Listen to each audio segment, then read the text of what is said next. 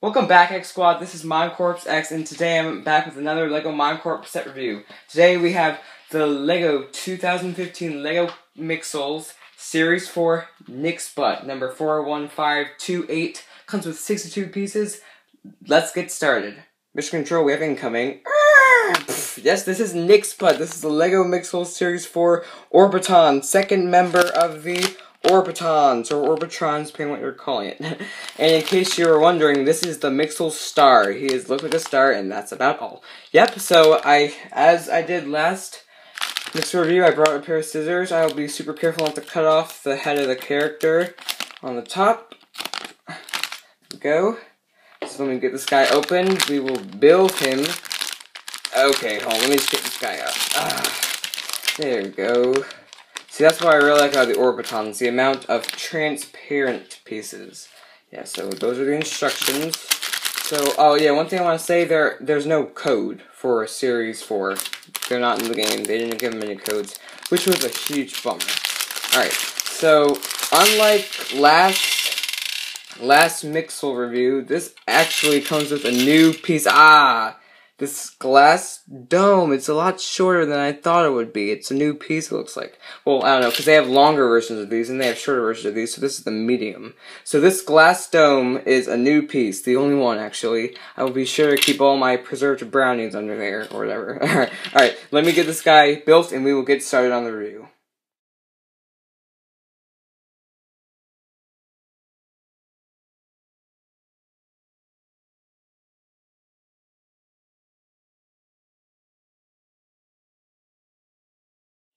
Alright, there he is. The extras is a one green square and one green circular one by one tile and a red translucent stud. Alright, those are the extras. Now, this guy is like uh, it looks exactly like the instructions, right? But it just seems so different in real life. I have no idea why. Just like is like exact. I I I don't know. I really don't know how to explain. He's got a cool fire exhaust jet in the back that thing propels this whole guy. He's a lot thicker than I thought. I thought he was tall and skinny, but he's actually pretty thick. And there, this is the Mixel Star. Woo! Yep, so he looks like a star and a jet plane and a transformer. Yeah. I like how his arms are wings. I don't know, just gives him more character.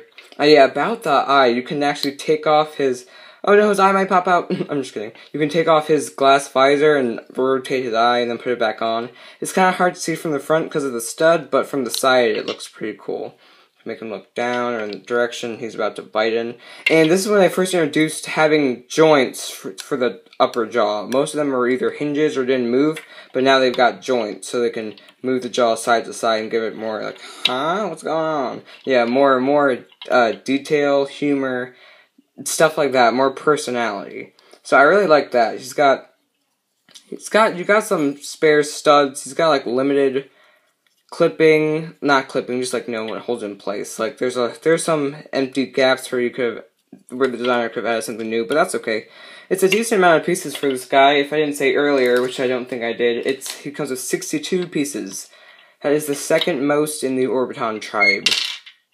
So 62. He's right there, smack in the middle.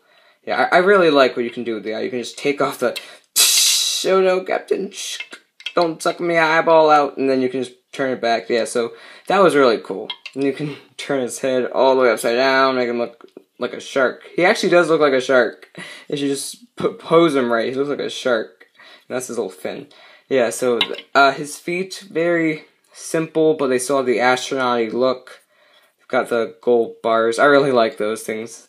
And this goes that, well, obviously you can move that if you couldn't already guess. It does come with a lot of, uh, a lot of these one by two slopes. You got four in black, and then you got two in green. So that that's uh, the most I've seen in one Mixel is eight, but six is pretty good. That's a pretty decent amount of slopes. As of uh, the other Orbitron, well, not some of them, but uh, yeah, this one also comes with those green one by ones. But this is the only Orbiton I know of that comes with the square, not circular. Yeah, so you got two arms, two legs, but then you have the neck that moves. So that gives you 10 joint pieces in all. 10 joint pieces. That's that's pretty good. He has those little spaceship lights at the end of his wingtips so you can tell he's coming even in nighttime since it's dark in space. It's like it's more of a like a spaceship with a head and feet. It looks like that, but it's supposed to be a star. It looks like the shield logo actually. Just like yeah, I, I really do like I really do like the looks of it all. You can it's easy to control his arms because they're so big. So that's what I really liked about that.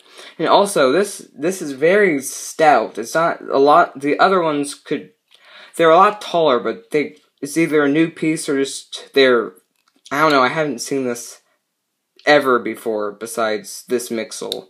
So yeah, that what what I don't like though, what they did with the eye is they used a red stud and it looks like his like blood veins connecting to his eye.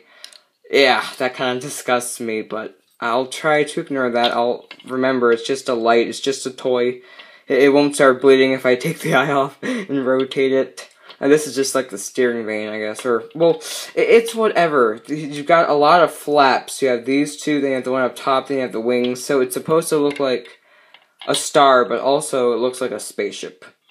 So this is the Mixel that looks like a spaceship. Here you get one that looks like, I'll show you all the Orbitons. You get one that looks just like an astronaut, a head full of glass, one that looks like a space station, one that looks like a spaceship, and the Orbitron Max, which looks really cool. Yeah, so I just think, I think this was definitely worth it.